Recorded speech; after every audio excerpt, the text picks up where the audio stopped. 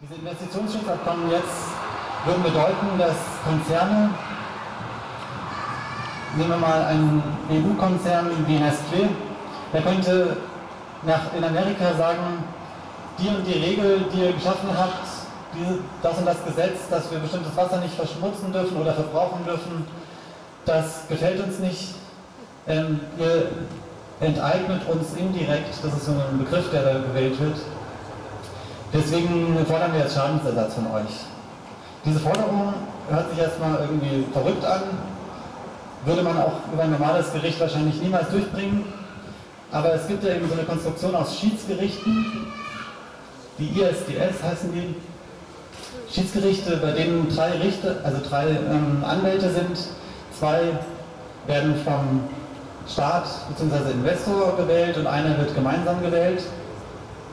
Und diese drei machen in einem völlig intransparenten Verfahren untereinander aus, ob der Staat jetzt Schadensersatz zahlen muss, ob der Konzern leer ausgeht oder, und das ist noch verrückter eigentlich, dass der Staat sein Gesetz, was er gerade gemacht hat, zurücknimmt.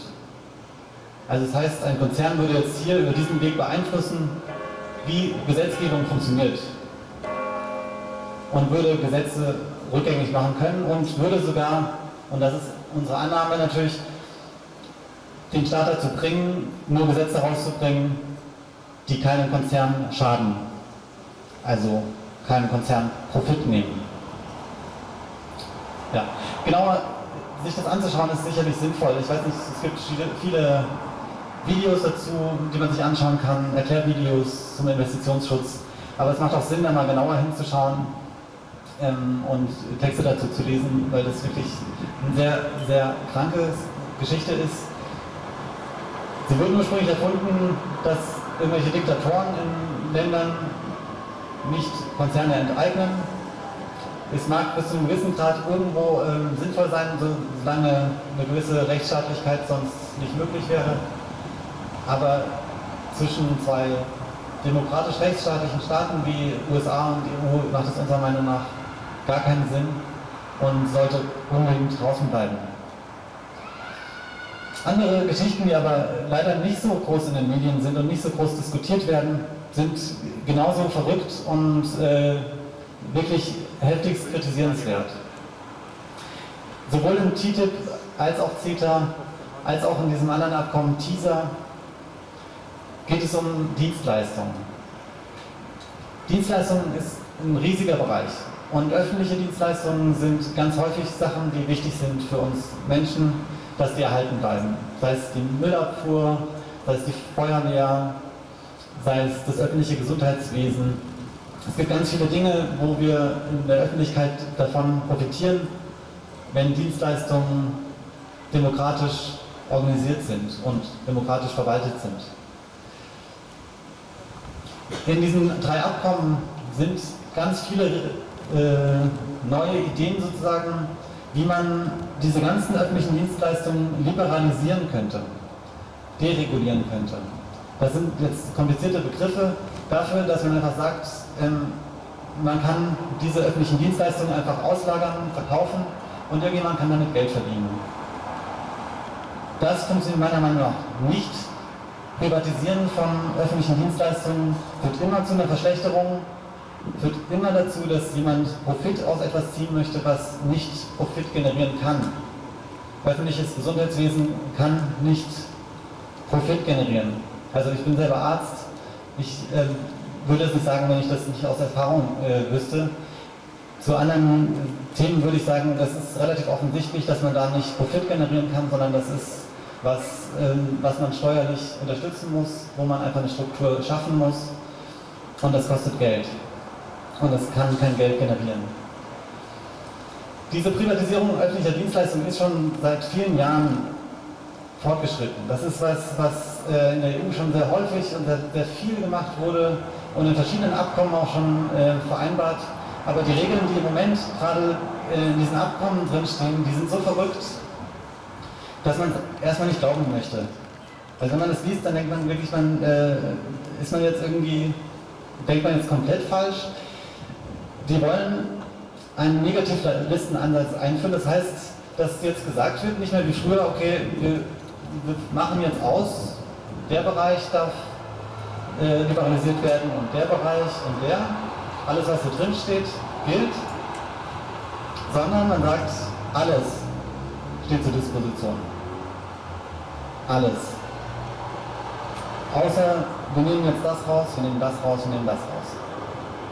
Das heißt, dass wirklich ähm, sich jeder Konzern überlegen könnte, okay, wenn das jetzt, aber das hier steht ja nicht drin. Und wenn man jetzt mal versucht, irgendwie aufzuschreiben, was alles öffentliche Dienstleistungen sind, da wird niemand, aber auch wirklich niemand eine vollständige Liste schaffen, weil es gibt so viele Möglichkeiten, ähm, Dinge öffentlich zu verwalten. Das wird niemand schaffen. Also dieser Negativlistenansatz ist neu und er ist völlig verrückt. Ähm, und er ist in allen diesen drei Abkommen drin. Ich weiß nicht, ob es äh, euch noch interessiert, weitere Dinge zu, zu hören zu den, äh, zu den Abkommen. Also was ja das Problem ist, was auch viel diskutiert wurde, ist, dass die ganz intransparent verhandelt wurden, dass erst sehr spät überhaupt irgendwas rauskam. Ähm, man kennt das Verhandlungsmandat, aber man kennt keine Papiere, ähm, von, die jetzt verhandelt werden. Und zu allen den Anhörungen, die da stattfanden, wurden Lobbygruppen eingeladen von Industrievertretern. Zu 103, von 130 Treffen waren 119 allein nur mit Lobbygruppen von Industrieverbänden. Während gleichzeitig das Europaparlament, die Vertreter des Europaparlaments keinen Einblick in diese Verhandlungsdokumente haben dürfen. Oder neuerdings haben sie jetzt eingeführt, dass man Einblick haben darf in einem Raum, in dem man kein Handy, keinen Stift und keinen Zettel mit reinnehmen darf, und in dem man nur lesen darf. Und das auch nur ausgewählte Leute. Also es ist ein unmäßig intransparenter Prozess, der da abläuft, um eben diese, diese Details, die da drinstehen, die so verrückt sind, nicht rauskommen zu lassen. Wie, wie, gesagt, was ich jetzt erzählt habe, sind alles Dinge, die im Verhandlungsmandat stehen und die schon schlimm genug sind, aber ich möchte nicht wissen, was in den eigentlichen Papieren noch alles drin steht. Ja, so gibt es, also wie gesagt, zu diesen äh, Verhaltensabkommen, ich möchte jetzt gar nicht das weiter ausführen, gibt es noch viele äh, Punkte, die kritikwürdig sind und die wirklich verrückt sind und wo es Sinn macht, ganz viele Menschen darüber aufzuklären, was da alles drinsteht und ähm, das weiterzugeben, diese Information. Dazu muss man selber erstmal ein bisschen lesen und äh, sich informieren, aber wenn man auch nur zwei oder drei Punkte davon verstanden hat, ähm, macht es Sinn, auf die Straße zu gehen und das weiterzugeben und mit Leuten ins Gespräch zu kommen, dazu auch vielleicht mit Freunden, Bekannten, Verwandten darüber ins Gespräch zu kommen und davon zu erzählen, was das für eine Verrücktheit ist. Ich würde das Dominik bitten, äh, der ist auch beim, bei Tag Leipzig, äh, ein paar Flyer rumzugeben. Der, der eine Flyer ist zum TTIP, einfach äh, ein paar kurze Informationen, worum es da geht. Der andere wäre einer, ähm, wenn ihr Lust habt, im Netzwerk mitzuarbeiten und uns zu helfen dabei, das äh, weiter zu verbreiten. Die Kritik, wie gesagt, ist auf verschiedenen Ebenen jetzt. Und äh, dass in den Medien, Medien da einiges schon läuft, finde ich persönlich sehr, sehr gut, auch wenn es häufig sehr oberflächlich bleibt und die äh, Gegenstimmen auch äh, manchmal mehr Gewicht haben, sodass es ähm, Sinn macht, auch da natürlich weiter Medienarbeit zu leisten. Was wir tun können, ist Unterschriften zu sammeln.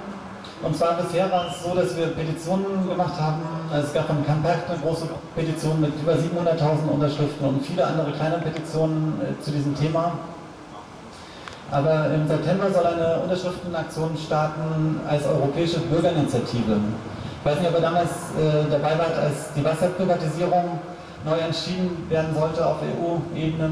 Übrigens auch ein Thema, was mit TTIP wiederkommen würde. Damals haben über 1,5 Millionen Menschen in Europa gegen Wasserprivatisierung unterschrieben. In der Bürgerinitiative, die im Europaparlament verhandelt werden muss. Also wenn das geschafft worden ist, das Quorum, dann muss darüber geredet werden und es hatte die EU-Kommission damals beeinflusst. Wir hoffen jetzt mit dieser neuen europäischen Bürgerinitiative ab September wieder so viele Unterschriften zusammenzukommen und wirklich wieder Druck zu machen auf die EU, da das, die Verhandlungen zu stoppen und es geht hier um das TTIP und CETA speziell, die Verhandlungen komplett zu stoppen und ganz von vorn aufzurollen, wenn, wenn man jetzt ähm, Handel neu miteinander, also Handel mit USA neu organisieren will. Für diese Unterschriftenaktion, wie gesagt, es braucht eine Million Unterschriften, um erfolgreich zu sein. Und das in verschiedensten Ländern. Das heißt, ihr könnt uns zweierlei helfen. Entweder ihr kommt mit sozusagen hier äh, bei Straßenständen Unterschriften von Leuten zu sammeln, die nicht internetfähig sind oder, oder nicht äh, vernetzt sind. Ihr könnt über Facebook das natürlich teilen und, äh, oder über eure Verteiler teilen und schauen, dass ganz viele Menschen das online unterschreiben, was eben auch möglich sein wird. Aber ganz wichtig ist besonders auch, das in andere Länder zu tragen. Also wenn ihr irgendjemanden kennt in anderen europäischen Ländern, ähm, die, die das weiter verbreiten könnten, die einfach sagen könnten, hier, ähm, schaut ihr mal die Seite an und unterschreibt mal hier, dann macht es Sinn, da die Leute ähm, darauf aufzufordern, weil die Kritik ist am größten in Deutschland und in Großbritannien, aber es braucht insgesamt sieben Ländern, in denen das Quorum erreicht wird. Und das, dafür braucht es viel Energie und viele Verbindungen. Und jeder von euch hat sicherlich irgendeine Verbindung zu irgendjemandem im europäischen Land, wo ihr uns damit helfen könnt. Ich glaube, ich habe jetzt alles gesagt, was ich sagen wollte. Und wenn ihr Fragen habt, äh, könnt ihr gerne nochmal auf mich zukommen jetzt direkt. Wie gesagt, äh, der eine Flyer ist äh, von unserem Netzwerk Vorsicht Freihandel, was wir hier in Leipzig gegründet haben. Und da ist auch heute Abend direkt ein Treffen, wenn ihr noch Lust habt, könnt ihr noch da später vorbeikommen. Beziehungsweise auf der Internetseite findet ihr die aktuellen Termine dann immer. Dann vielen Dank. Schönen Abend. Danke, Julian Lindewald. Ich möchte gerne, es war jetzt ganz schön viel Inhalt und ich habe mitgekriegt, dass doch einige sehr, sehr interessiert zugehört haben. Das war sehr viel Stoff. Ich möchte das gerne machen, so wie wir das die letzten Montage gemacht habe. Es kann sein, dass jemand sagt, okay, jetzt würde ich aber, jetzt ist der mal da, der hat Ahnung, jetzt möchte ich mal was dazu sagen. Es kann auch sein, dass einer von euch einfach nur nach vorne kommt und jetzt hier seine Frage stellt. Also zu der Rede. Also, was er jetzt gerade gesagt hat, hat mir quasi aus dem Herzen gesprochen. Ich bin natürlich kein Spezialist, ich bin auch nur ein Mensch und so in allen meinen Fehlern und so weiter. Aber ich habe sofort gespürt, dass das Freihandelsabkommen zwischen Europa und den USA ganz schädlich ist. Warum sollten wir das machen? Ich weiß nicht, wir würden alle unsere Standards, unsere ökologischen und so weiter Standards aufs Spiel setzen und wir würden äh, ja, mit, mit der brutalen, also noch äh, mit dem brutalen Kapitalismus der schon in den USA herrscht, äh, konfrontiert werden. Die, ja, darum geht's. Entschuldigung, ich bin halt ein bisschen blöd, aber so empfinde ich das eben. Ne? So, sorry, so, das war's. Also, mehr wollte ich eigentlich auch gar nicht sagen. Ich wollte einfach nur äh, zum Ausdruck, dafür bin ich auch dankbar, dass ich das darf. Ich will das Freihandelsabkommen nicht. Es ist ganz wichtig, dass du nochmal einfach angesprochen hast, ähm, weil mir fällt gerade ein, ich wollte noch was anderes dazu sagen, ähm, weil ihr ja hier äh, als Friedensdemonstration gegen den Krieg in der Ukraine seid. Es ist, ähm, es ist anzunehmen, dass diese Freihandelsabkommen auch dadurch ähm, Auftrieb bekommen könnten, dass Leute ähm, jetzt durch die ganze mediale Verarbeitung dieses Krieges ähm, sich von Russland abkehren sollen. Sie sollen sagen, wir wollen keinen äh, kein Handel mehr mit Russland, weil die sind so böse. Ich bin der Meinung, dass Putin ein schrecklicher Gewaltherrscher ist, aber das soll nichts damit zu tun haben, dass, es, äh, dass wir nicht mit Russland genauso Handel führen können wie mit anderen äh, Ländern auch und dass wir hier nicht eine, eine Blockade brauchen und einen Krieg brauchen, um hier ähm, Russland zu dämonisieren. Russland ist ein Land wie viele andere Länder auch in der Welt und es hat keinen Sinn, das zu dämonisieren. Und was aber das Problem ist an diesem TTIP, ähm, ist zum Beispiel, dass wir im Moment ganz viel Gas aus Russland bekommen. Und diese Gaslieferungen aus Russland sind ganz, ganz normal, die gibt es schon seit sehr, sehr vielen Jahren. Wenn diese wegfallen würden, würde uns viel Gas fehlen, was wir im Moment nutzen. Und der Plan, also meiner Meinung nach, ist, dass die USA wollen dass äh, Fracking-Methoden nach Europa kommen. Und Fracking, diese Methode, um Gas aus Schieferschichten rauszubekommen, dass das nach Europa importiert werden soll. Und über das TTIP wäre das möglich. Und wenn man dann sagen kann, ja, aber wir müssen ja, wir müssen ja irgendwo das Gas herbekommen, weil wir haben ja kein Gas mehr, weil ja, wir wollen ja nicht mehr mit Russland handeln, dann wäre das eine Möglichkeit, äh, solche extrem umweltschädlichen Methoden hier in Europa einzuführen. Also das war noch so ein Punkt, der mir entfallen war, warum das auch mit dem Ukraine-Konflikt schon zu tun hat.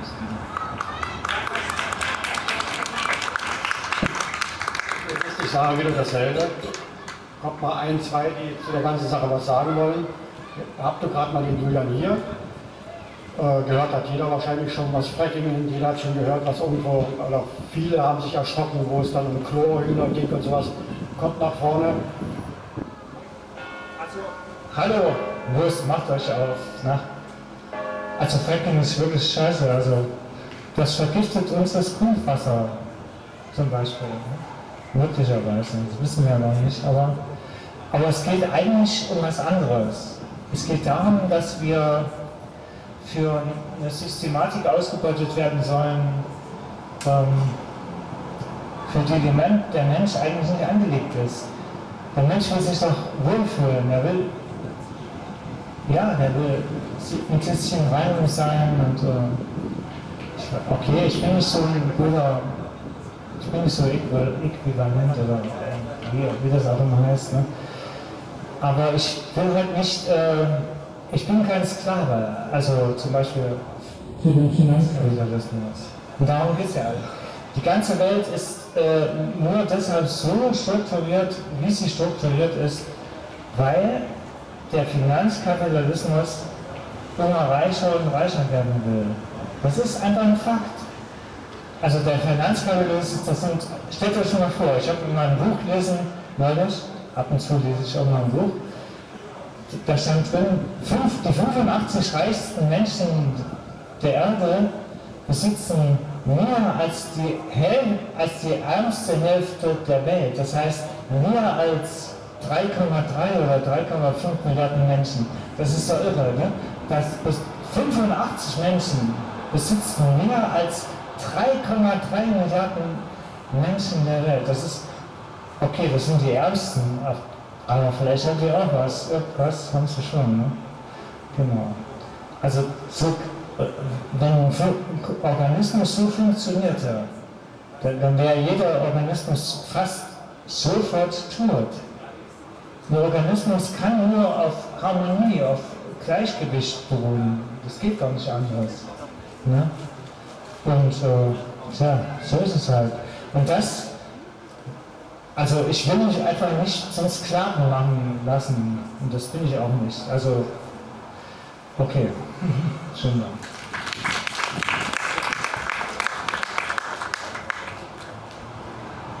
Ich hatte gerade mal mit dem Vorredner gesprochen, also es ging um äh, Gesundheit äh, und das Gesundheitssystem in Deutschland, was ähm, grundsätzlich ja eins der äh, besten weltweit ist. Äh, was mich an der ganzen Sache, also ich habe auch vor ein paar Tagen ähm, über Kontraste einen Bericht gesehen, ähm, was mit TTIP zusammenhing und was eigentlich das, das, Schlimme ist, dass uns nicht die Augen geöffnet werden, dass selbst Politiker ähm, von diesen ähm, zentralen Themen, die, die ja global ähm, irgendwie eine mega Auswirkung haben, ähm, überhaupt gar keine Ahnung haben. Äh, das ist etwas, wo ähm, jeder aufhorchen sollte, weil das ist, ähm, ja, kann man sagen, einfach Geheimniskrämerei. warum? Das ist die Frage. Warum machen sie sowas? Ähm, ich denke, es hängt damit zusammen, wenn man die Themen konkret ansprechen würde, würde jeder aufwachen. Da ist zum einen das Thema Gesundheit. Und in, dem Bereich, ich arbeite selber in dem Bereich, ähm, ist es dramatisch, was die Entwicklung dann durch eine Privatisierung von Krankenhäusern, von ähm, Gesundheitsinstitutionen bringen würde. Das wäre nämlich der gesamte Wegfall unseres, unseres sozialen Systems. Also wir hätten überhaupt gar keine Möglichkeit mehr, ähm, Krankenversicherungen in der Form ähm, ja, geltend zu machen. Also das, was jetzt momentan ist, und es ist schon schlimmer geworden in den letzten Jahren. Ähm, was ich selber auch miterlebt habe, dass schon am Patienten äh, extrem gewirtschaftet wird. Und das hängt auch in gewisser Weise mit der Privatisierung von Krankenhäusern zusammen, ähm, mit der Art und Weise, wo Gelder entnommen wurden. Ähm, und natürlich, irgendwo muss das Geld wieder reinkommen, aber ähm, diese Entwicklung ist dramatisch. Also letztendlich, wenn TTIP und CETA und all diese Dinge kommen, also diese, auch die, kann man sagen, der Kauf der Dienstleistungen, dann denke ich, ähm, haben wir keine Chance mehr, ähm, ein ja, sozial gerechtes Gesundheitssystem in unserer Welt oder in dieser, ja, in unserer Gesellschaft zu haben. Und das ist ähm, ja, nachdenkenswert auf jeden Fall.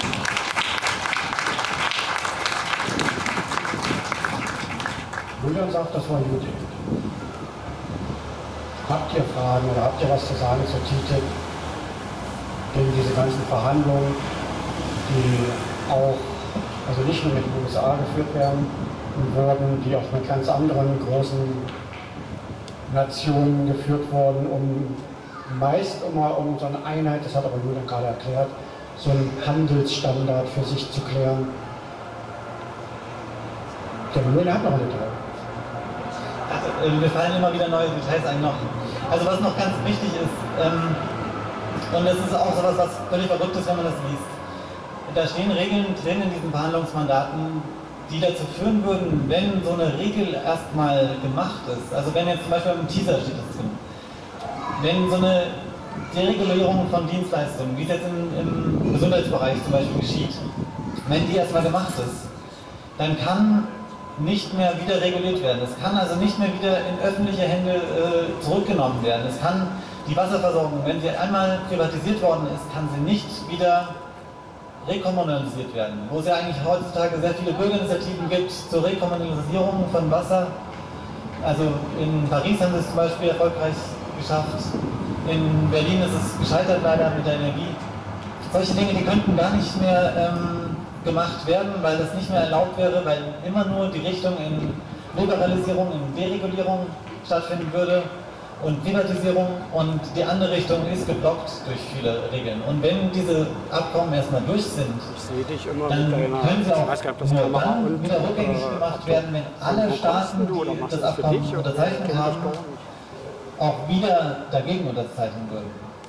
Das heißt also, der Moment des Widerstandes muss vor dem Abkommen sein. Es kann nicht sein, dass die Abkommen durchkommen und wir dann erst also aufstehen. Wir müssen vorher ähm, dafür gesorgt haben, dass die Politiker das nicht machen. Und ich hoffe, dass wir es schaffen und dass wir genug Menschen davon überzeugen, uns dabei zu helfen. Ich muss jetzt leider los zum Netzwerktreffen, aber hat mich gefreut, hier äh, vor euch zu sprechen und so viele Interessierte zu sehen. Und ich hoffe, wir sehen uns mal irgendwann im Infostand oder irgendwo wieder. Dankeschön. Achso, ähm, wenn ihr noch Interesse habt, mitzumachen, ihr könnt euch auch hier auf einer Unterschriften, äh, auf einer Liste eintragen, also eine E-Mail-Liste. Wir haben einen Verteiler für dieses Netzwerk. Ähm, da, würden, da könntet ihr uns helfen, eben direkt Unterschriften zu sammeln. Äh, da könnt ihr eure E-Mail-Adresse eingeben, ich würde ihr in den Verteiler eintragen. Und da kommen halt dann immer die, die, die äh, E-Mails, wann das nächste Treffen ist, was auf der Tagesordnung steht, vielleicht manchmal auch aktuelle Informationen. Also wenn ihr Interesse habt, könnt ihr euch da gerne eintragen. Dankeschön, schönen Abend euch noch.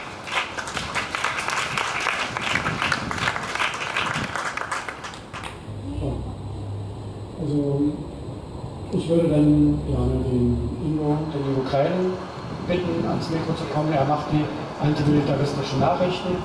Das ist ziemlich aktuell und sehr informativ für bestimmt viele von euch. Und danach kommen wir bestimmt nochmal Diskussion. Also ich bin nicht nur klein, ich lese die Nachrichten vor. Das erste ist aus einem Figaro-Interview mit äh, Jacques Meert, der ist Mitglied im Auswärtigen Ausschuss des Nationalversammlung von Frankreich. Ähm, die Verhängung von Sanktionen gegen Russland ist eine äußerst übereilte, undurchdachte und für Frankreich tödliche Entscheidung gewesen, die unter Druck der EU getroffen wurde. Das war ein Fehler, weil der Ukraine-Konflikt unter Teilnahme russischsprachiger Aufständischer ein ausgesprochen regionaler Konflikt ist, als Folge des Zerfalls der Sowjetunion. Es ist auch eine Folge von Ereignissen aus der Zeit des Zweiten Weltkrieges, als viele Ukrainer auf der Seite der Nazis gekämpft haben. Weiter heißt es, statt den Konflikt nach Kräften die Spitze zu nehmen, wird dadurch die EU-Sanktionen gegen Russland nur internationalisiert. Solche Schritte verschlechtern die Lage nur weiter, die internationalen Spannungen nehmen zu. Wir werden nicht in der Lage sein, Russland mit gezielten Wirtschaftssanktionen in die Knie zu zwingen. Genauso wie solche Schritte gegen die USA unwirksam gewesen wären. Und weiter sagt er, das sind alles Zitate, unter den Bedingungen, da Frankreich gegen ökonomische, finanzielle und Budgetprobleme zu kämpfen hat, kann die Beeinträchtigung unseres Exports nach Russland mit einem Selbstdruck gleichgesetzt werden. Denn dieser Export ist wichtig, auch für die Schaffung von Arbeitsplätzen in Frankreich und für unsere Handelsbilanz. Die Regierung Frankreichs und die EU handeln wie Einfallspinsel. Ein anderes Zitat betrifft ähm, die Ausfälle, die kommen könnten, wenn, hier, äh, wenn Russland die Überflüge nicht mehr finanziert bekommt. Es handelt sich um gute Einnahmen aus den Überflügen, sagte der Sprecher der russischen, des russischen Präsidenten Dmitri Peskov. Man muss alle Pros und Kontras abwägen, um nicht den Amerikanern und Europäern zu ähneln und sich selbst mit dem Hammer auf den Kopf zu schlagen. Das nächste ist ein kurzes Zitat von Joachim Krause, Professor für internationale Politik an der Uni Kiel, mit dem Thema zum, zum Thema Rüstungsexporte im Tagesspiegel vom Freitag. Äh, Kiel ist ein Standort von sehr vielen äh, Rüstungsfirmen. Er sagt, die Waffen haben weder zu Angriffskriegen noch zur Eskalation und erst recht nicht zur Repression beigetragen. Und jetzt kommen noch ein paar Zeilen zum Irakkrieg von Knut Mellentin aus einem Kommentar vom Wochenende in der Jungen Welt ähm, ja, mit dem Überschrift Wieder im Krieg.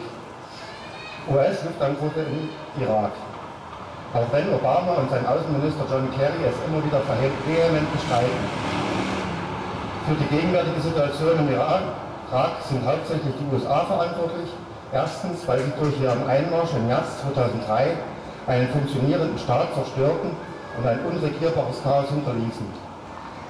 Dann kommt weiter. Zweitens sind die USA auch dadurch verantwortlich, dass sie in Kooperation mit allen, vor allem mit Saudi-Arabien, seit Jahrzehnten den internationalen Dschihadismus züchten, finanzieren und bewaffnen, um ihn später irgendwann zu bekämpfen, wenn ihnen das nützlich erscheint. So geschehen in Afghanistan, in Libyen, in Syrien und eben auch im Irak.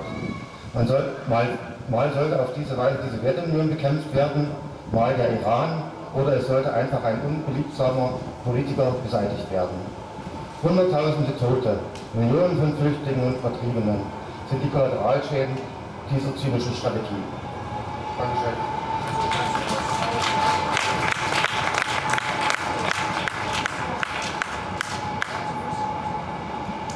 Entschuldigung, ich muss schon wieder, also äh, ich habe natürlich auch zu diesen Problemen, die er jetzt gerade angesprochen hat, äh, wie ihr alle wahrscheinlich schon Gedanken gemacht. Und äh, ja, ich habe mich gefragt, wieso können wir nicht friedlich miteinander leben?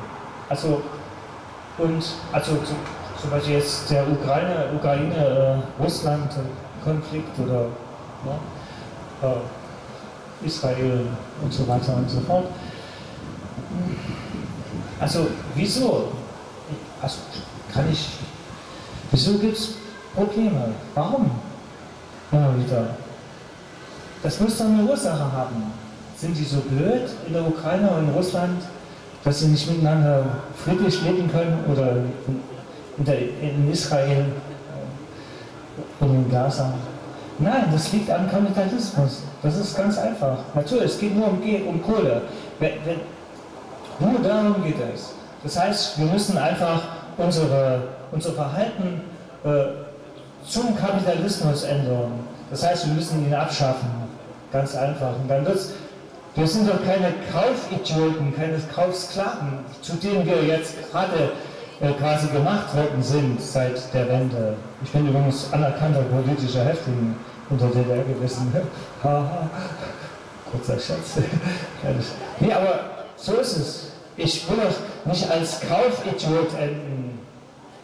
Darum geht's. Und warum? Äh, ja, es gibt, habe ich vorhin schon mal gesagt, ne? Diese, dieses Verhältnis 85 der reichsten Leute der Welt besitzen genauso viel wie die Hälfte der ärmsten Hälfte der Welt, dreieinhalb Milliarden oder so. Das ist irgendwie ein Missverhältnis. Ne? Und darüber muss man nachdenken. Also ich brauche nicht mehr, also ich, als ich hier Platz einnehme. Also, genau.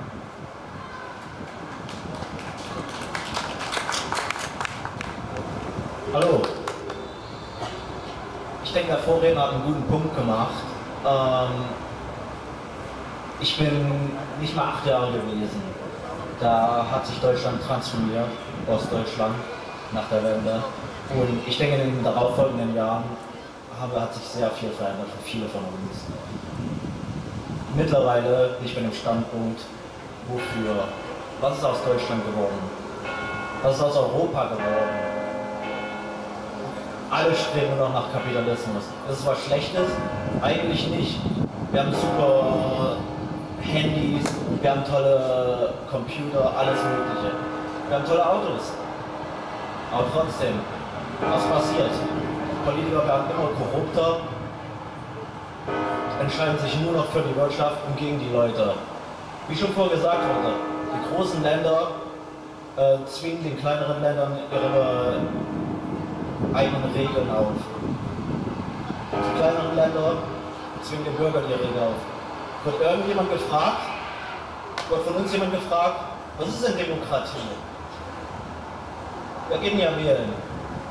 Ich muss ehrlich sein, ich habe in meinem Leben noch nie gewählt. Warum? Weil ich immer gedacht habe, bringt eh nichts. Ja, es ist es so. Bringt eh nichts. Jeder Politiker kümmert sich um diejenigen, die ihn füttern. Wie sagt man? Man weiß nicht die Hand, die einen füttert. Wer füttert denn? Es ist die Wirtschaft. Leider. Was passiert in der Ukraine? Genau dasselbe. Ist Putin schuld? Keine Ahnung. Ich denke nicht. Ich denke, dort wurde ein Putsch organisiert, der wiederum westlichen Mächten hilft, in den Markt zu kommen. Ich finde es schlimm. Es ist wahnsinnig schlimm. Und Europa steht bei, entscheidet dann für Sanktionen, für die USA, wie immer, gegen Russland. War Russland für irgendjemand von euch eine Gefahr vor einem Jahr? Hat jemand gedacht, oh, die kommen, die werden nach Polen einmarschieren, die kommen nach Deutschland. Hat irgendjemand gedacht? Gib doch mal die Hand. Und plötzlich wird Putin hingestellt, als ob er irgendein Massenmörder wäre, ob er versucht, ganz Europa einzunehmen. Wer hat denn äh, die Demokratie untergraben in der Ukraine? Das war nicht Putin, er hat nur reagiert. Und genauso geht es überall anders. Genauso geht es hier, genauso geht es mit, äh, mit, diesen äh, Verträgen, die abgestimmt werden. Wir haben hier gefragt, dass, äh, das Beispiel mit der Wasserversorgung ist, ist super. Irgendwann mal bezahlen wir 10 Euro für einen Liter. Können wir was dagegen machen? Nee. Weil unsere Repräsentanten haben ja dafür gestimmt es in privates äh, Fürgewinnunternehmen umzu, äh, umzuändern. Und dann, ich denke, wir sind uns äh, der Gefahren des jetzigen Kapitalismus nicht bewusst. Ich denke, viele von uns vergessen, dass mittlerweile Kapitalismus in äh, Krieg zur Gewinnnahme umgeändert wurde. Und das ist was sehr Gefährliches. Ich denke, wir sollten mal alle darüber nachdenken, wie wir wirklich Veränderungen bringen können. Wie wir in Europa verhindern können, dass wir in so einen Krieg mit nochmal hineingezogen werden. Ich finde es äh, sehr bestürzend, dass ich äh, in der Zeitung lesen muss, dass unser eigener Bundespräsident uns fordert, mehr Verantwortung in internationalen Konflikten zu übernehmen. Ui! Schlimm! Es scheint, als ob manche nicht gelernt haben aus den letzten 70 Jahren. Was bringt uns Krieg? Was bringt uns? Irgendwann steht eine Seite wieder da als der Verlierer. Aber eigentlich sind wir alle die Verlierer. Wir alle. Nur die Unternehmen gewinnen. Diejenigen, die die Waffen verkaufen, diejenigen, die ihre Produkte an den Markt bringen und in Billigländern produzieren können. Am Ende haben wir nichts davon. Und das ist das Traurige.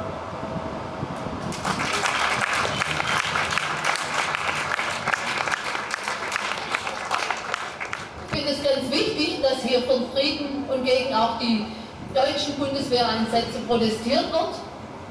Und ich denke, dass der erste Neunte als Weltfriedenstag oder auch Antikriegstag ganz wichtig ist, dass wir da auf die Straße gehen. Ähm, wir würden von der Montagsdemo, die sich immer am Willy-Brandt-Platz trifft, also von dieser bundesweiten Montagsdemo, würden da gern mit euch demonstrieren und gemeinsam mit euch den Antikriegstag begehen. Möchte ich euch informieren, dass wir das gemeinsam machen. Danke.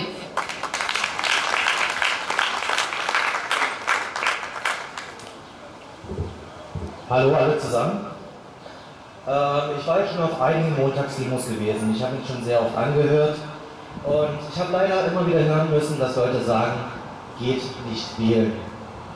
Ähm, ich weiß nicht, ob der Großteil von euch weiß, dass wenn ihr nicht wählen geht, dass ihr eure Stimme automatisch Randparteien abgibt, die diese Stimme nicht bekommen sollten. Ich sage zum Beispiel NPD. Ich möchte euch bitten, geht wählen, macht euren Schein unkenntlich, wenn ihr keine Stimme abgeben wollt. Das ist eine Möglichkeit. Oder gibt es irgendwelche Randparteien, keine Ahnung, ähm, irgendeiner Schrebergartenpartei oder was weiß ich, keine Ahnung.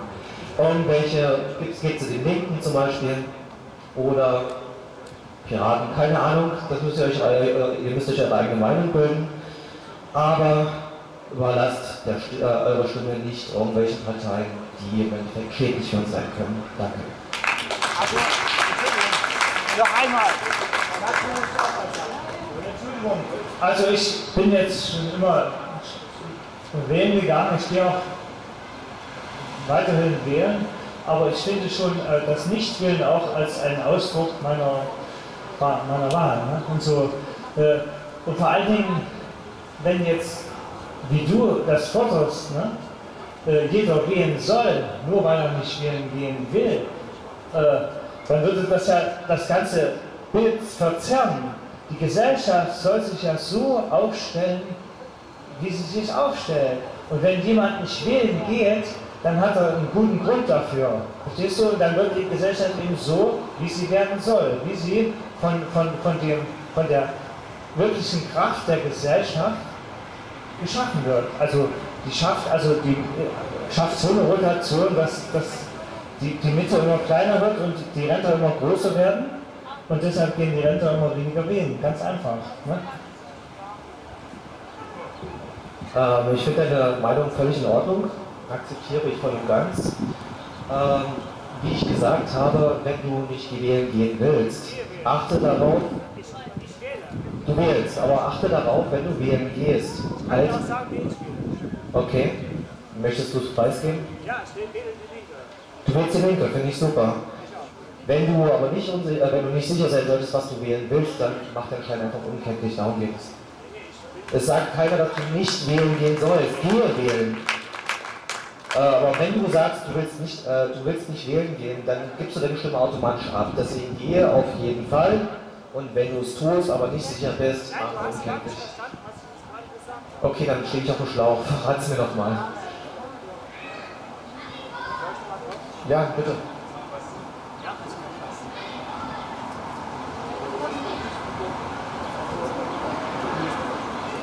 diejenigen, die nicht wählen gehen in unserer Gesellschaft,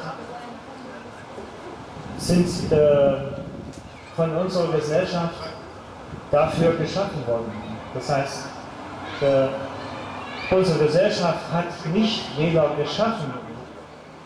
Das heißt, sie haben einfach, sie, sie sind desillusioniert, sie, sie fühlen sich, äh, ja, an den Rand gedrückt und so weiter und so fort. Das ist jetzt ziemlich schwer zu, zu sagen. Also so ist es. Also und jetzt, du sagst es zum Beispiel, vielleicht hast du eine bessere Situation, eine bessere gesellschaftliche Situation, aber es gibt halt Menschen, die, die sagen sich, was, wieso, was, ich werde hier von allem ausgeschlossen.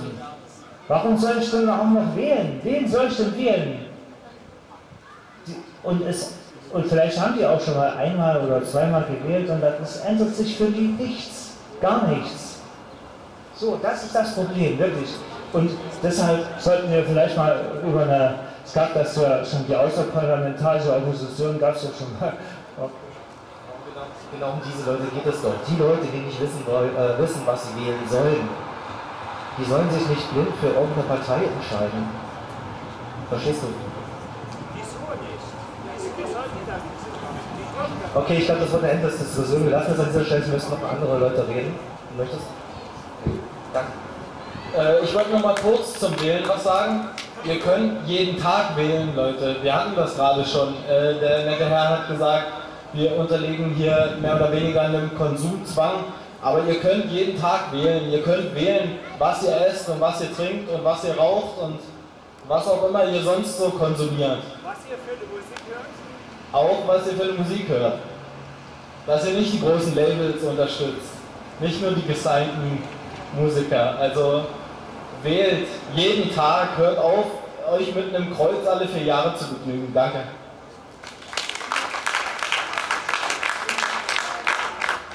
Ähm, der junge Herbert hat einen guten Punkt gemacht. Äh, er hat gemeint, ähm, woher wissen wir, welche Partei nicht gefährlich für uns ist? Ich denke, deswegen sind wir heute hier, oder nicht? Wir haben eine CDU-SPD-Regierung, äh, wenn ich mich nicht irre. Und woher wissen wir, dass die nicht gefährlich für uns sind? Woher wissen wir dann nicht, dass sie in drei Monaten sagen, Deutschland unter dem NATO-Bündnis muss in den Krieg ziehen? Unter der, unter der Vormacht der USA, die uns dazu zwingen, unter dem Bündnis mit ihnen zu gehen. Wer hätte denn von euch dafür, dafür gewählt? Keiner, niemand. Richtig.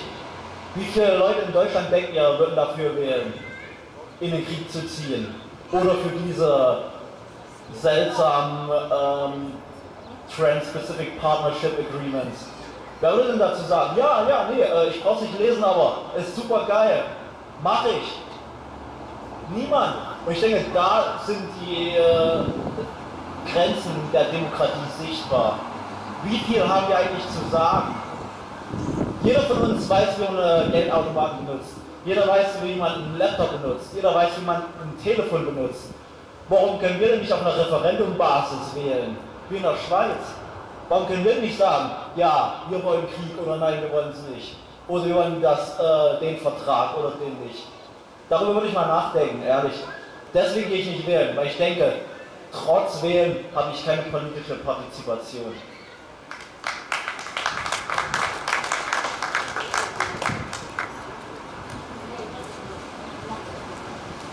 Da haben ja ein Thema. Ein endloses. Wenn jemand auch noch mal ein anderes hat, so schwer ist das nicht. Ich will das Mikro nicht gleich abdrehen. Was mich zum Beispiel jetzt noch sehr, sehr bewegt, ist das, dass im September, und das ist mir wirklich nicht mehr weit, NATO-Streitkräfte in der Ukraine, in Polen zusammengeführt werden, dass man das Konzentrationsräume, Konzentration heißt Gewaltbereitschaft, das war immer so, das hat es meiner, hier bei Leipzig haben sich vor etlichen Jahren auch Streitkräfte, streitende Kräfte konzentriert und haben sich dann abgeschlachtet, was anderes war es nicht. Und ich habe vor jedem Manöver Angst, ich habe vor jedem Übungsfeld Angst. Angst meine ich, ich bin beklemmt, verstehe diese Menschen nicht, ich weiß nicht, warum das sein muss. Und ich habe jetzt Angst, dass in, an der Ostgrenze Europas oder auch außerhalb Europas, jeweils sehr dicht dran, Streitkräfte in ungeahnter, massiven Gewaltform zusammengeführt werden. Und ich habe Angst vor diesen Menschen, die sowas andenken. Für mich, ihr kennt vielleicht, manche kennen noch diese Geldscheine, wer Banknoten nachmacht und kennt ihr das noch so im Umlauf bringt und sowas. Wer derartige Manöver andenkt, der gehört bestraft. Das muss ein EU-Recht werden. Wer so denkt, der muss, da hilft kein Therapeut mehr, der gehört eingesperrt und zur Verantwortung genommen. Der kann damit keine Karriere machen dürfen. Menschen, die einen Beruf erwählen und Munition und Waffen herzustellen, um anderen Menschen zu schaden, überhaupt nur die Möglichkeit äh, zu haben, äh, so ihr Geld zu verdienen, gehören nicht bestraft, aber denen gehört andere Arbeit, gut bezahlte Arbeit gegeben. Das ist das, was passieren muss, wenn wir Frieden herstellen wollen. Ich habe also Angst, dass immer mehr in diese Konzentrationsräume hinein, die natürlich nicht nur in Europa, nicht nur in der Ukraine sind, die in Afrika sind, die in Saudi-Arabien sind, dass da immer mehr Gewalt hineingedacht wird, immer mehr Gewalt dahin verkauft wird und dann natürlich, das ist doch nur eine Folge, meine, das wissen wir, die Gewalt wird dann auch irgendwann angewandt. Davor habe ich Angst. Und wenn es irgendjemand von euch hier so genauso geht, oder ja, er, er, möchte was sagen, er steht neben mir. Na klar, komm mal her. Ey, hier, also ich bin kein Politiker, Kescher oder so, und ich will auch keine scheiß Partei gründen, weil ich denke, wir müssen alle Liebe, also es wird uns halt nur selten erlaubt. Für mich kommt es ich glaube, wie so eine billige Cash-Aktion, Alter, weißt du? Und also ich bin auf jeden Fall für ein äh, freies Leben, für Peace. Das ist wirklich Peace, das funktioniert, Alter. Das wissen wir ja gerade schon, das wird mir nicht mehr sitzen, Alter. Und das sind nicht unsere lieben Parteien, weil die rennen mit den schwarzen Koffer weg. Und wenn wir das alle wissen, dann wissen wir, wie wir uns verhalten sollen, oder? Und zwar ist das einfach eine menschliche Geste von uns allen, Alter, dass wir uns lieben. Und das war's eigentlich, oder? Will nicht mal einer was von den Leuten sagen, die was davon verstehen, Alter, die sind nur Blatt ablesen, Alter. Bitte! Ja, ich wollte es ja dann mal der Minute, aber du bist doch nicht sehen, Mensch. Du musst doch mal den guten, äh, den guten Scheiß rauslassen, Mann. Weißt du, mit, äh, wenn jetzt alle Panik machen und so Scheiße, wenn alle die dann sind wir wieder alle Nazis, die Bösen und so. Und wenn ich die Bullen frage, Alter, der Gott ist in der Bösen, dann sagen die alle nö. Da war eigentlich, wo sind denn dann die krassen Cops, Alter, die immer so eine Vision stehen? Oder? Oder? Ey, kommt, ey, Babes, kommt, macht mal auch mal eine Welle, Alter. Wir können jetzt nicht den Pfandpiraten überlassen, was so ist, oder? Aber bevor wir die Welle machen, musst du dich erstmal vorstellen. Also ich bin Kai Mathe, Mathe. Peace, und? Ja, kann man ja ans kommen und, und wir eigentlich auch geile Mucke an, anlegen, ans, ans Mic, solange hier keiner quatscht, Alter. Weil wir will quatschen, wenn wir über Peace reden, oder? Doch nicht. Ich habe ihn auf Mucke getroffen, Mann. Wer soll mir Mucke drauf machen, oder? Singen sollst du. Singen. Bevor die große Mucke losgeht, hat mich schon. Hat mich vielleicht doch noch jemand was friedenspolitisches, irgendwas was auf dem Herzen ist. Irgendeine Mutter, die sagt, hier mein Kind, ich will das nicht, dass der irgendwann nur was werden kann, wenn er zur Bundeswehr geht. Gibt es das dann nicht, das Gefühl? Ja, auf jeden Fall geht es nur mit Verstehen. Du, willst du was sagen? Da kommt jemand direkt auf mich zu. Beifall.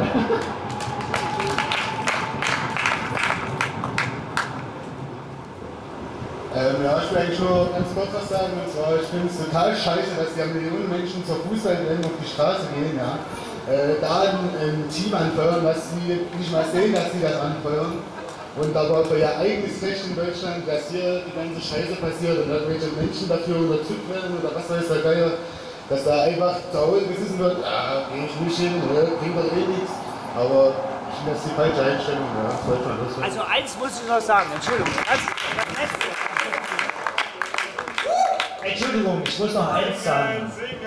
Äh, sagst du Moment. Äh, ich würde sagen, wir sollten uns abgewöhnen, etwas Scheiße zu finden, sondern wir sollten vielleicht positiver denken. Also wir sollten denken, wie, wie sich etwas besser machen lässt und nicht wie wir sollten nicht äh, herumnörgeln, dass irgendwas scheiße ist, sondern wir sollten sagen, so könnte es besser gehen.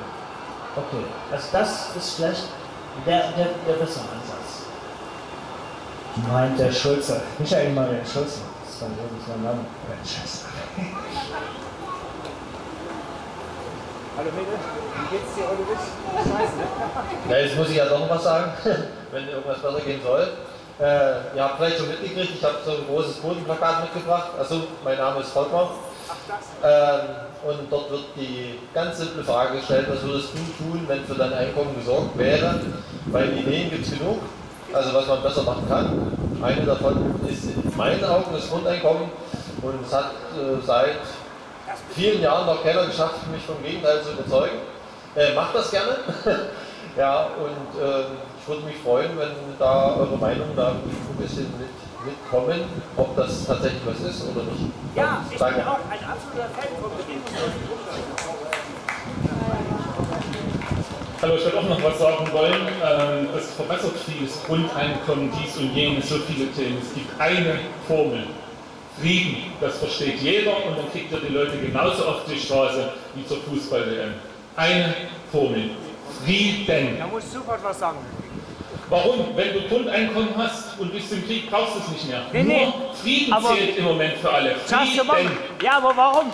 Du musst dir doch die Frage stellen, warum, warum kein Frieden. Das stimmt, aber das den Leuten zu erklären, ist so kompliziert. Erst muss der Frieden her. Wie soll das funktionieren? Was war zuerst da, die Henne oder das Ei? Frage beantwortet. Wenn, wenn wir uns hier schon streiten, Kannst du, wenn kannst wir du, uns jetzt schon streiten, gibt es keinen Frieden. Das Entscheidende ist Frieden und dann die Dinge in Ruhe bereden. Wenn die Leute miteinander reden würden, egal wer jetzt wie schuld ist, dann geht es Frieden. Sich untereinander verstehen, miteinander reden, Konflikte von vornherein durch Reden beseitigen. Und wenn ihr die Leute auf die Straße kriegen wollt, man muss ergreifen, wir wollen Frieden. Und dann muss es aber den Ring ziehen und nicht mit langen Themen, die wieder verbessern, weil der eine will das, der nächste das, der dritte den Grundeinkommen, der vierte will, will sein Luxus behalten, was auch immer. Es geht hier nur um Frieden. Danke. Und vielleicht noch, um das zu unterstreichen in den Medien, nicht diese ganz, wenn man das liest, wie geantwortet wird. Die Medien auf allen Seiten lügen nicht immer, aber jeder oft, das ist Strategie. Wenn man einfach hingeht und sagt, lügt nicht, wir wollen Frieden, keine Gewalt und das immer wieder antwortet und nichts anderes, dann gibt das irgendwann Effekt, dass die Leute das verstehen und mitmachen. Weil die Sachen, die man dort liest, die sind teilweise so kompliziert, dass die Leute den Mut verlieren mitzumachen, weil sie eh der Meinung sind, wir können nichts bewegen. Eine Formel, Frieden.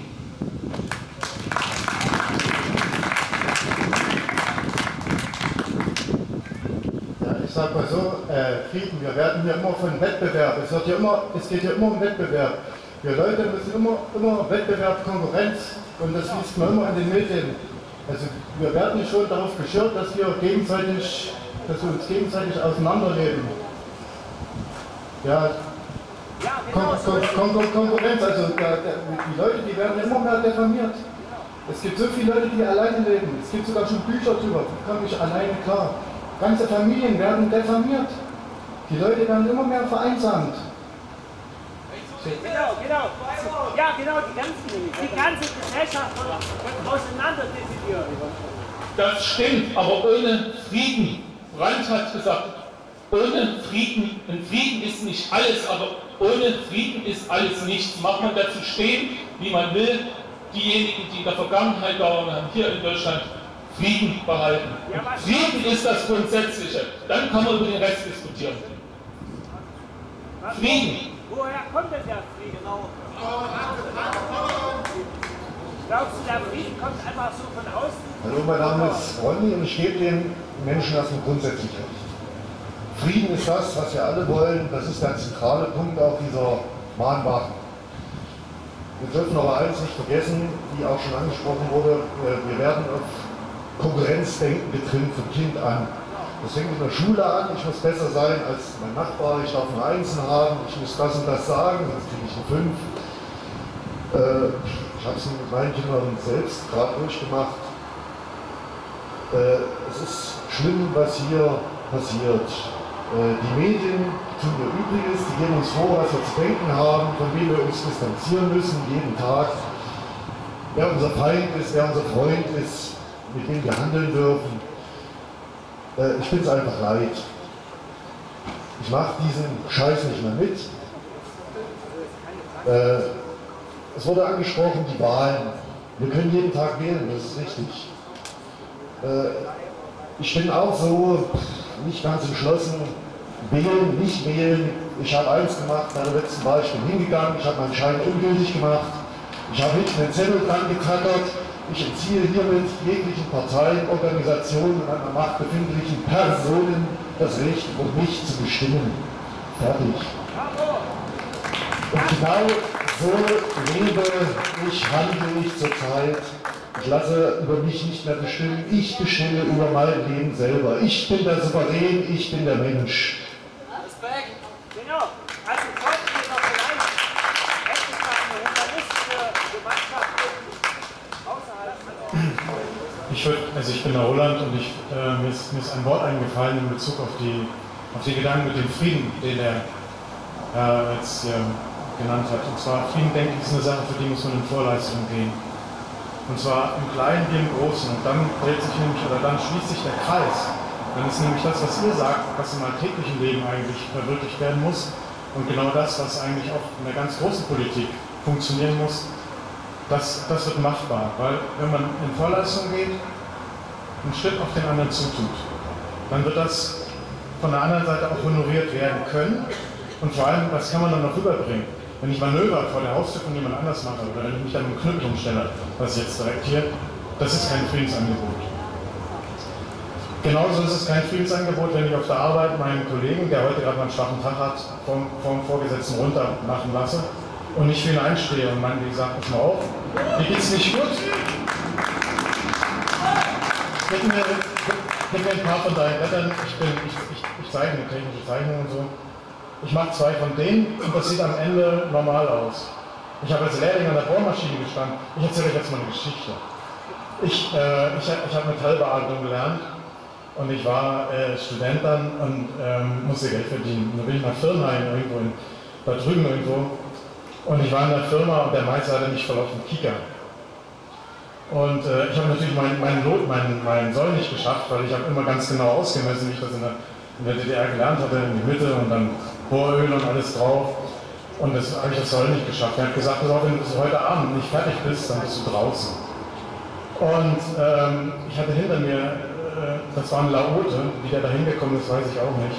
Der stand an der Drehmaschine und der hat, der der kam dann von hinten, hat mich so an der Seite, zur Seite genommen, dann hat er das Bohrfutter genommen, das ist jetzt technische Begriff, ist egal, das in die Mitte gestellt, mit der Hand festgehalten und dann ein Stück nach dem anderen durchgebohrt. Ich habe das nur gesehen, der hat innerhalb von also eine halbe Stunde hat er meinen Tagessoll gehabt, der hat mir den Arsch gerettet auf Deutsch. Und das ist die Idee. Ne? Wenn man in Vorleistung geht mit dem, was man kann, das, das muss nicht immer der direkte Weg sein. Aber es gibt Dinge, von denen weiß man, die kann ich. Ich kann Nagel Wand schlagen, die Nachbarin kann das nicht. Also sage ich zu wenn du mal Nagel in die Wand zu schlagen hast, dann sag mir das und dann mache ich das. Und das, ist, das sind die kleinen Schritte. Und dann kommen die anderen Schritte.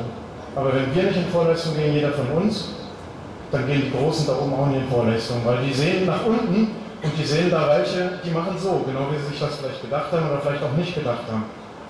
Aber ich denke, das ist ein Schritt, den man selber machen kann. Das wollte ich auch mal sagen.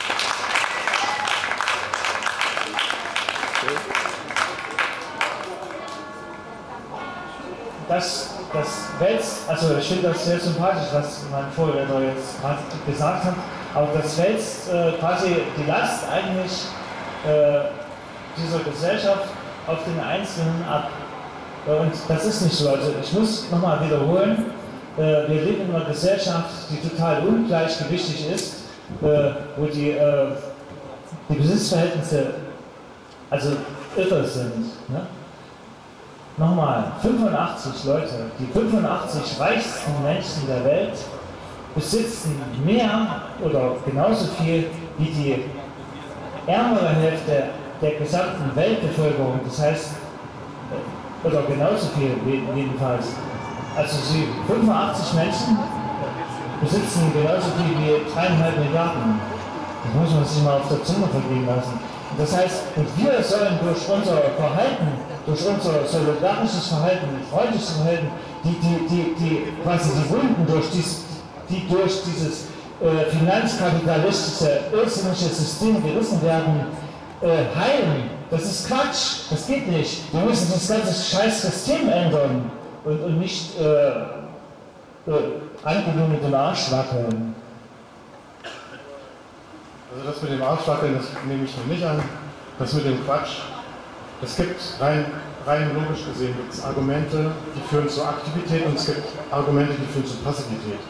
Man kann sich die Argumente, die auf Passivität ausgerichtet sind, wenn man die annimmt, handelt man nicht mehr, das ist zu Ende. Dann schubst du nur noch Sachen in dich rein und dann war es das. Oder man sagt sich, bis hier ist die Grenze, die ich bereit bin zu akzeptieren und ab dann fange ich an zu handeln. Und was du sagst, die 85 Leute, die sind nicht deshalb reich geworden, weil sie, weil sie sich mit dir beschäftigt haben oder mit den drei Milliarden anderen Menschen, sondern, sagen wir es mal andersrum, es gibt einen ganz, ganz klugen Kopf, oder den gab es leider nur noch, das ist Karl Jaspers, das ist ein Philosoph, und der hat, gut, der eine Satz von ihm ist, jedes Volk trägt die Verantwortung für die von ihm gewählte Regierung, Punkt Ende. Das Volk, das heißt die Einzelpersonen des Volkes sind der Souverän. Das sind diejenigen, die hinter den Gesetzen stehen. Und das ist auch die Außenwirkung. Jedes Volk wird für das genommen, was seine Regierung tut. Das ist der Punkt. Ich würde immer, wenn ich sage, entweder ich verwälze die Verantwortung ab und erwarte von anderen, die sollen was tun, oder hier, selbst in kleinen Schritten, Arschwackeln kann ich nicht so gut, aber Nägel einschlagen, das geht schon, äh, würde ich eher das mit den Nägel einschlagen versuchen. Das war auch nur ein Bild. Das sagt jetzt nicht, dass jeder jetzt miteinander durch die Gegend laufen soll. Das ist ein Bild gewesen. Es gibt für jeden eine Sache, die er tun kann, und es gibt für jeden eine Sache, die er als ersten Schritt tun kann. Das ist der Punkt. Danke.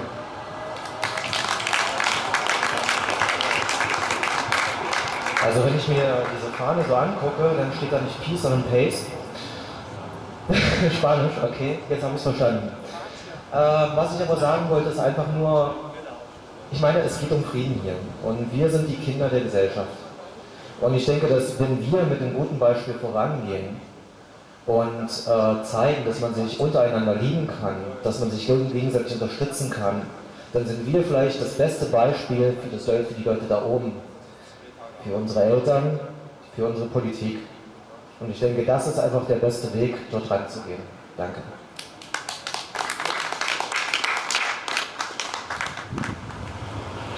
Ich habe 1982 ein Buch gelesen, zu tiefen DDR-Zeiten.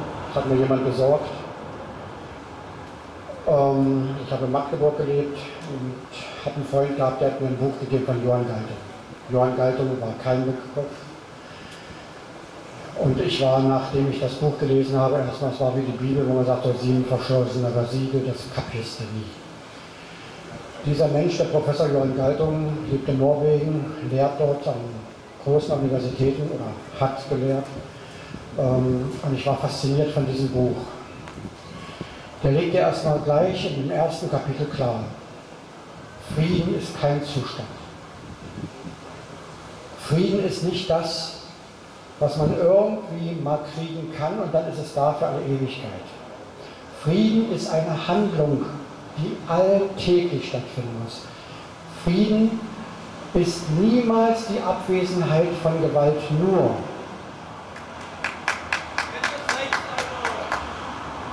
Frieden ist das, ich glaube, Frauen und Mütter können das gut nachweisen, ein Säugling fragt nicht danach.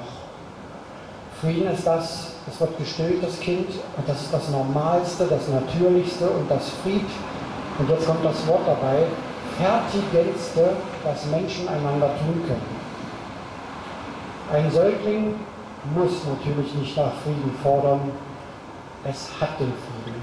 Nach meinem Dafürhalten und so wie ich Galtung verstanden ist da aber auch der Punkt, wo wir als Menschen, nämlich vernunftbegabt, voller Verstand und Gefühl, von da an unseren Kindern, Kinder dann wieder in ihrer ganzen Schulbildung, in der ganzen Familität, die, Familität, die sie hat, in ihrem Berufsweg Frieden herstellen muss. Wir müssen als Menschen sofort, ich sage jetzt mal, so schreibt es Galtung nicht, weil ich kann Ihnen nicht alles zuschustern, wir müssen sofort funktionieren. Und wir merken, das fällt uns immer schwerer.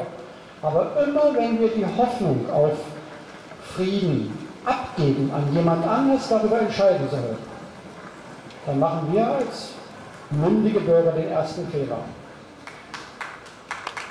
Alter. Und deshalb ist wichtig, wir fangen hier erst an. Heute hat die Polizei gesagt, waren wir 70. Wir waren ja schon mal 500. Und wir werden auch wieder mehr werden. Wir brauchen gar nicht viel mehr Themen. Aber das, was Galtung dort auch sagt, schreibt und lehrt, ist, dass Frieden eben nur innerhalb einer staatlichen, also einer, einer Gewaltstruktur spürbar und erlebbar ist. Es gibt diese Gewalt, die spüren wir ja. Das sind unsere Gesetzgebung. Das ist Moment, wenn die Polizei hier kommt und aufpasst, dass es uns hier gut geht. Natürlich ist der Schutz nicht irgendwo da. Die haben mich nicht gekniffen, die schimpfen nicht mit mir, die schimpfen nicht mit uns. Aber das sind staatliche Strukturen. Die akzeptieren wir ja auch. So leben wir ja auch und die brauchen wir ja auch. Aber das geht ja in alle Lebensbereiche rein, die wir heute gehört haben, in Vertragsgestaltung hinein. Nur hier müssen wir mitwirken. Und so stellen wir unseren Frieden her. Wir dürfen nicht zulassen, dass andere, weil sie irgendeinen Vorteil haben, darüber entscheiden, was wir in unserem friedlichen Zusammenleben und Miteinander brauchen. Das müssen wir mitbestimmen.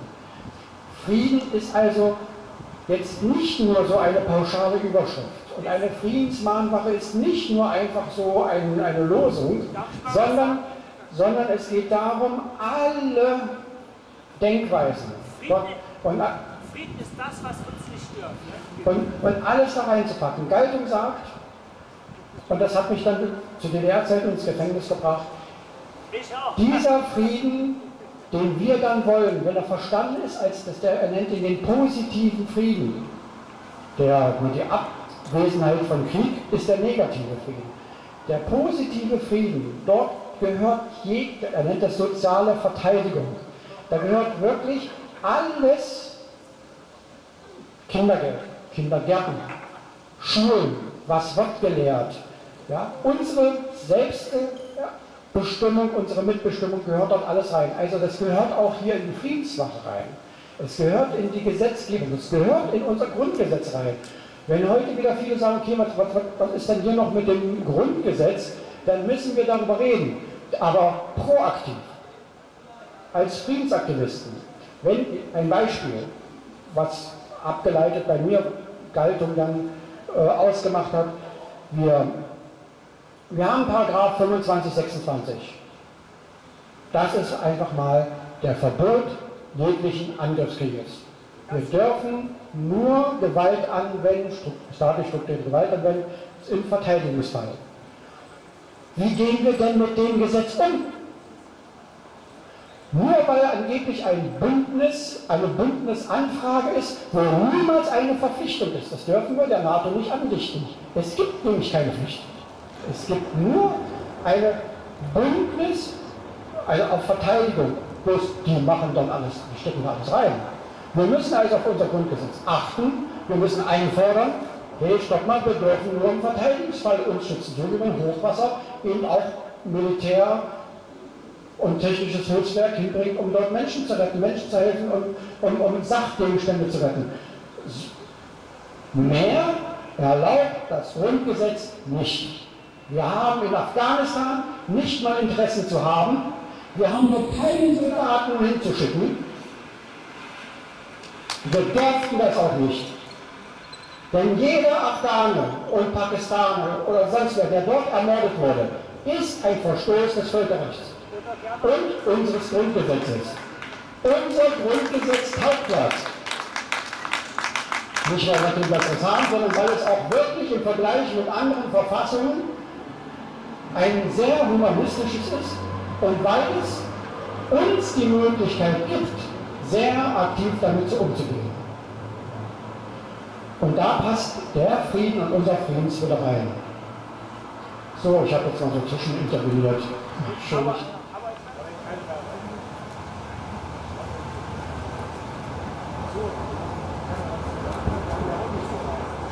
Harriet Schubert, seit 62 Jahren in Leipzig. ich habe einen Wunsch. Wir haben viele Meinungen heute gehört und es wäre schön, wenn wir mit einem ernsten und besinnlichen Gedanken auseinandergehen. Und es wäre schön, wenn wir am Ende unseres Treffens nochmal das Mantra hören könnten. Als Schlussstrich, als Abschied und als Wiedersehen fürs nächste Mal.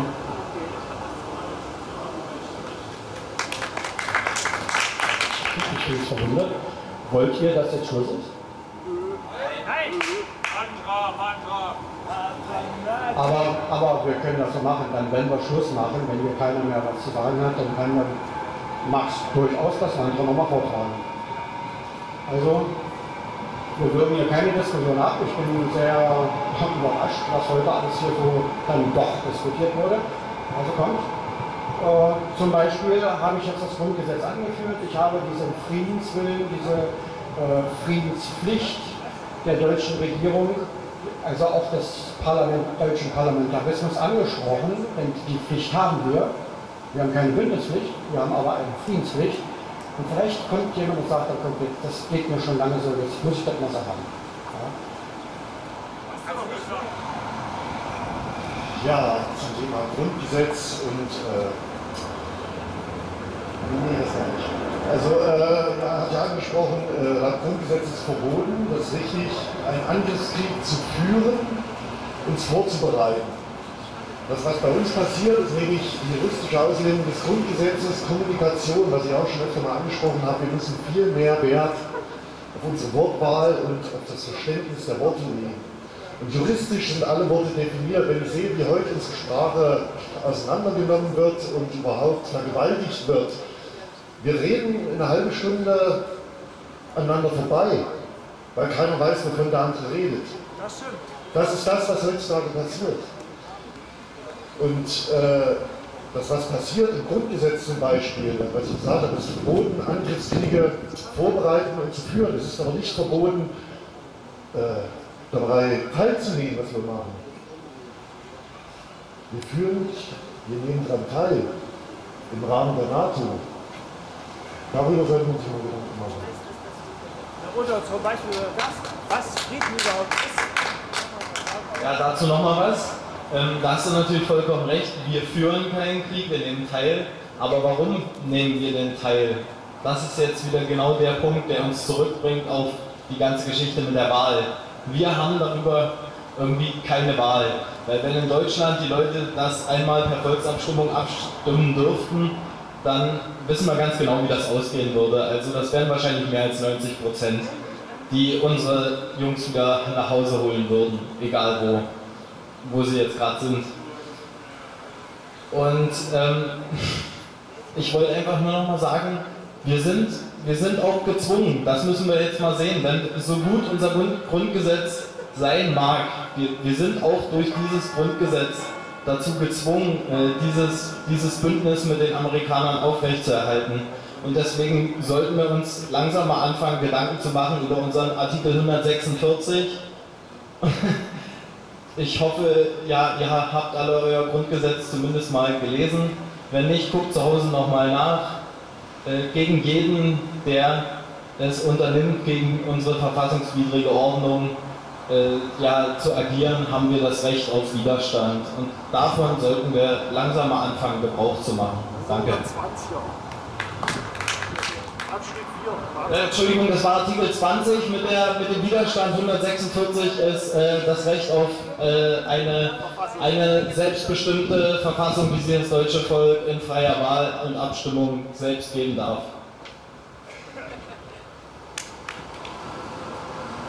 Eine Kleinigkeit nur noch. Ähm, ich bin jetzt seit etlichen Wochen hier auf den Montagsdemos gewesen. Ich habe mir das immer angehört. Ähm, ich bin in erster Linie hier, um mich auch weiterzubilden. Um mir, ich bilde mir meine eigene Meinung. Ich möchte nichts aufgeschwatzt bekommen. Ich nehme hier nichts blind an. Aber ich finde, man sollte sich die Meinung anderer auf jeden Fall anhören. Man kann diskutieren, das ist schön und gut. Ähm, es wird viel gepostet auf Facebook, im Internet liest man sehr viel.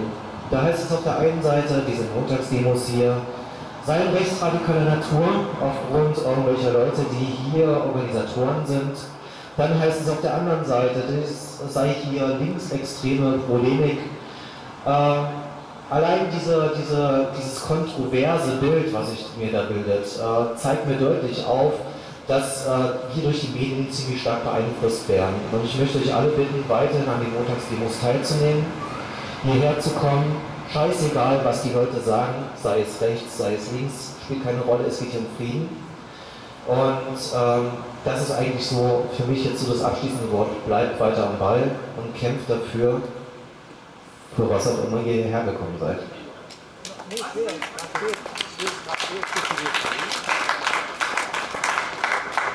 Ich bin der Meinung, jetzt das Mantra nochmal hören, ne? Oder? Und am nächsten Montag sind wir wieder gut vorbereitet. Und dann sprechen wir nochmal über alles.